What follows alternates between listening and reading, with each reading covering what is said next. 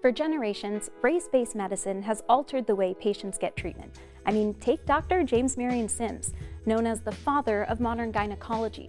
In developing his surgical techniques, Sims experimented on enslaved black women without anesthesia. Popular rumor at the time being black women didn't feel pain as intensely as white women. While there has been progress, the National Institute of Health shows black women are still systematically undertreated for pain, and when it comes to childbirth, are three times more likely to die from pregnancy-related causes than white women. The CDC cites quality health care, underlying conditions, structural racism, and implicit bias as factors. So what do we do? A collective of local birth workers say representation and understanding could make the difference.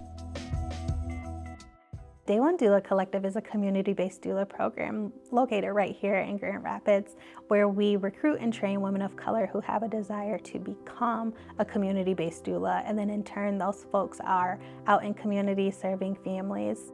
I always wanted to be an OBGYN so I thought I wanted to deliver babies. Um, but then I became pregnant and I got to see that it was not as hands-on as I would like to be. You know, the quick 15 minute visits and I didn't know that I actually wanted to be a doula. And I remember Kiera when she launched her bump to birth doula services. And I know she had the city buzzing. So when we think about equity um, and specifically health equity, we know that these particular communities, you know, are having really difficulty um, in accessing doula just training.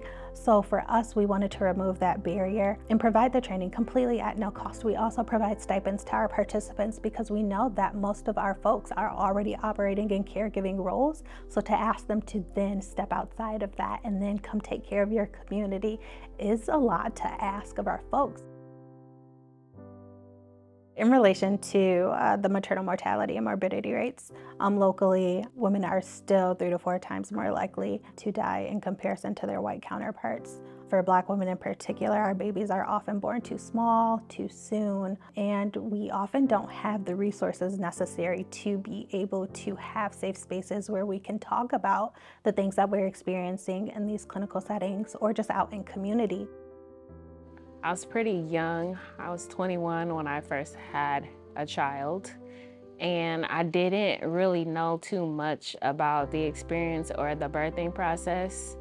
So my first experience was horrible. I got this not so nice nurse. Um, she didn't listen to me when I told her I was in pain. She kind of just like ignored me. And then it was like I didn't have any like time to like make any other decisions because they got me there and it was kind of like they were gonna do whatever they wanted to do. So my son's heart rate ended up dropping twice. The room just got really, really quiet because I told my doctor from day one, like I really don't want to have a C-section, but if it comes down to the point of where it's life or death, I'm gonna have to have a C-section. I had no idea about the laws, my rights, and I was a little bit confused. So I felt like next time around, if I did decide to have a baby, I would need more support in and out of the laboring room. We really create this experience where they have this menu of options and they get to pick and choose what they would like. Um, and a lot of that conversation is surrounding, you know, what type of care provider would you like? Do you have any care providers that you have had an experience with that you think would be a good fit for you during this time? Do you feel comfortable in saying, no, this isn't a good fit? Day One Doula Collective was actually brought to me by uh, one of my caseworkers that I had as a support system through the WIC office. She thought it would be in my best interest to have that extra support. It's extremely important simply because a lot of women don't know that they have the right to say no. There's that pressure because a lot of women are either there alone or they don't have supports. This might sound a little cocky, but I actually like when I walk into a hospital and then they sit up straight, you know? So, because they know that we know.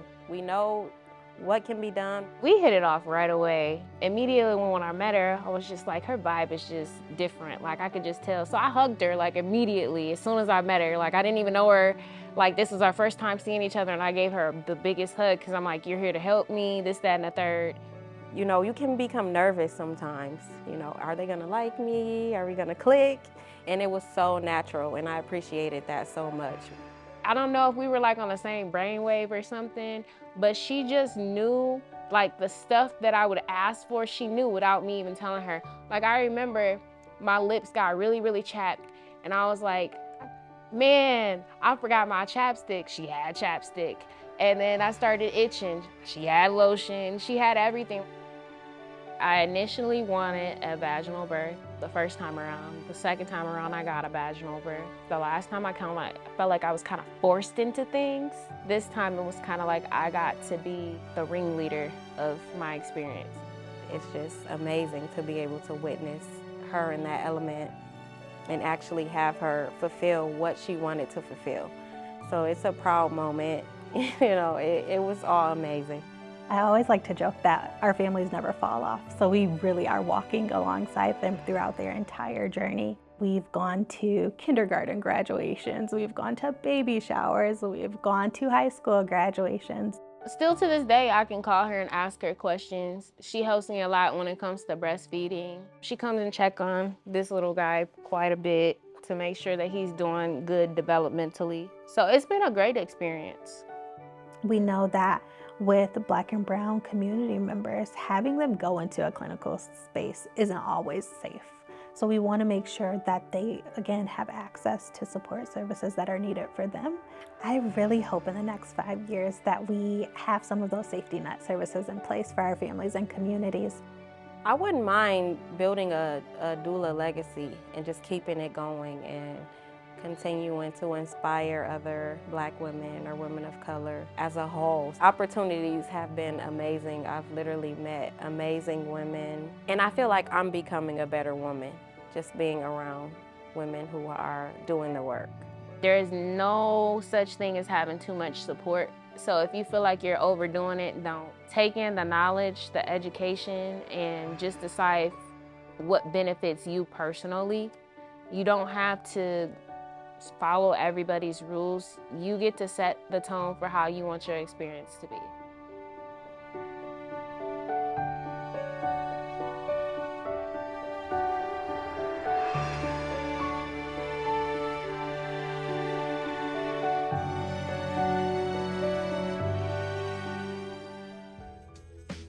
doulas of color are spreading in West Michigan, such as How You Birth Doula Initiative in Muskegon and Rooted Birth Justice in Kalamazoo. But big news happened this year when the state of Michigan approved doula services to be covered by Medicaid insurance, expanding access to care.